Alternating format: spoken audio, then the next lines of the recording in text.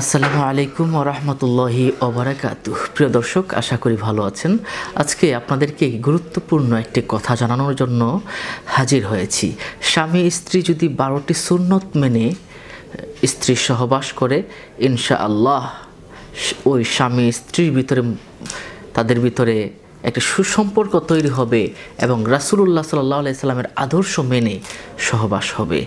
প্রিয় দর্শক, আসুন আমরা বারোটি সুন্নতের কথা জেনে নেই।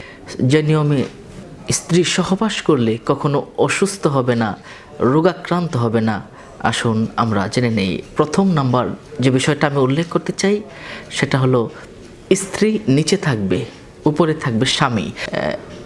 এই ক্ষেত্রে রাসুসাল্লামের সুন্নত হচ্ছে যে নারীদেরকে নিচে রাখা। আল্লাহ পাক কোরআন শরীফে সুরা আরাফের একশো উনানব্বই নম্বর আয়াতে বলেছেন, পুরুষ নারীকে আবৃত্ত করে রাখবে, এর মানে হচ্ছে নারীর নিচে থাকবে।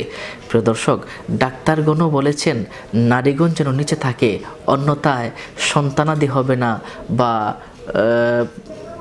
যে বীর্যটা বের হয়, সেটা পুরোপুরি না বের হলে পুরুষাঙ্গে পাথর হওয়ার সম্ভাবনা রয়েছে। দুই নম্বর বিষয়টা আমরা জেনে নিই।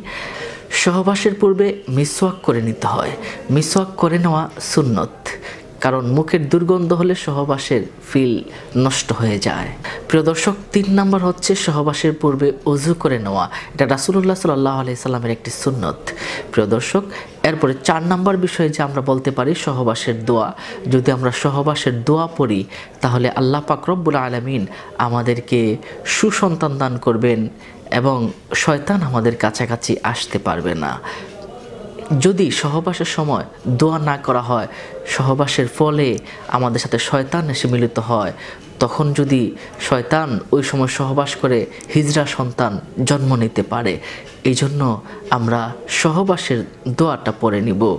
সহবাসের দোয়াটা আমরা সবাই শিখে নিই। প্রিয় দর্শক রাসুল্লাহ সাল্লাহ সাল্লামের আরেকটি সুন্নত হচ্ছে সহবাসের পূর্বে সুগন্ধি লাগিয়ে নেওয়া। অর্থাৎ আতর, গোলাপ যা আছে এগুলো সুন্দর করে নিজেদের শরীরে লাগিয়ে নেওয়া এটা একটি সুন্নতি আমল। কিবলামুখী না হওয়া, কিবলামুখী হয়ে সহবাস করা এটা সুন্নতের খেলাফ।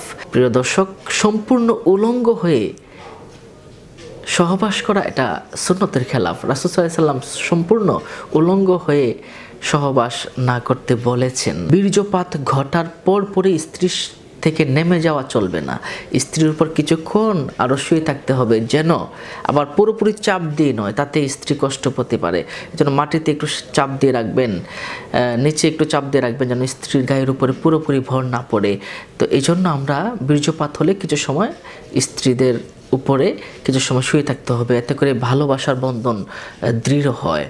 প্রিয় দর্শক, যে বিষয়টা সুন্নতির খেলাফ, এটা হচ্ছে পায়ুপথে সংগ্রাম করা। অর্থাৎ পিছনে রাস্তা দিয়ে সঙ্গম করা, এটা নাজায়েজ। বা এটা ইসলাম এটাকে সমর্থন করে না। রাসুল্লাহ সাল্লামও এটাকে সমর্থন করেননি। প্রিয় দর্শক, নেশা জাতীয় দ্রব্য খেয়ে সহবাস করা, এটা ঠিক নয়। নেশা জাতীয় দ্রব্য অ্যাভয়েড করা উচিত।